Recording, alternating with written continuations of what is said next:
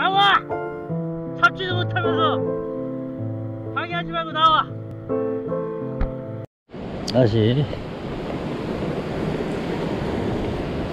이 습관이 참 무서운 거예요 습관이 습관적으로 그냥 생선만 확인해주고 그 저기 카메라를 껐더만 누가 보면 또 다 죽인 줄 알 것 같아 그래서 이번에는 잡으면 살려주는 모습까지 꼭 찍도록 하겠습니다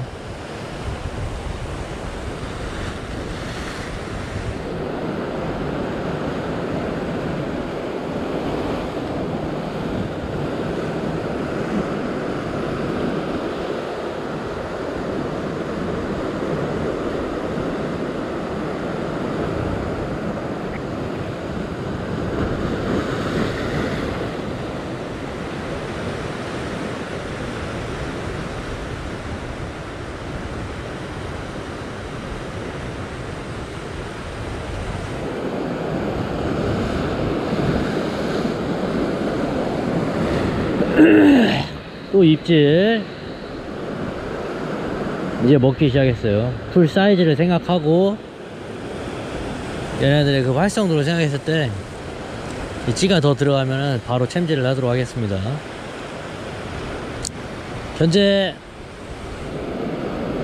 톡 맞았어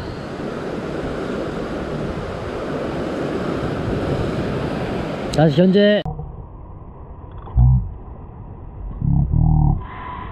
톡 걸었어 오케이.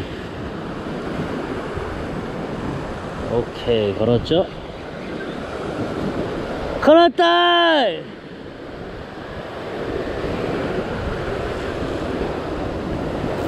생선에 맞는 드랙을 설정을 하고요.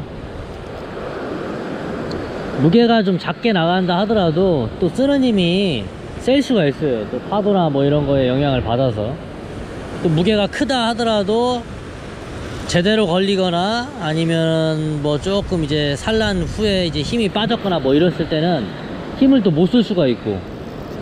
그거는 그때그때마다 드랙 조절을 해줘야지 사이즈에 맞게 뭐 이런 거는 없어요. 어우 요것도 크다. 요것도 큰 놈이 나왔네. 저 참 이게 갑자기 사이즈들이 커져 버렸지? 드랙을 감고 마찬가지로 옆으로 지그시 지그시 으사.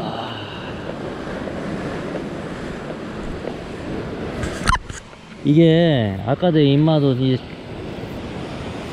한번 채고 난 다음에 생선하긴 채고 난 다음에 인, 입마가 또 다시 와서 확 물었거든요. 그러니까 한번 자기가 챌때 자 바늘을 빼고 바늘도 윗입술에 딱 걸렸죠 바늘도 이렇게 빼면은 빠집니다. 그만큼 활성도는 괜찮은데 이제 뭐랄까 안 먹는다는 거야 잘 바늘이 또 많이 거시게 됐네요. 저기 살려준 물고기도 왜 저기서 돌아다니고 있어? 자, 자 이렇게 살려줬습니다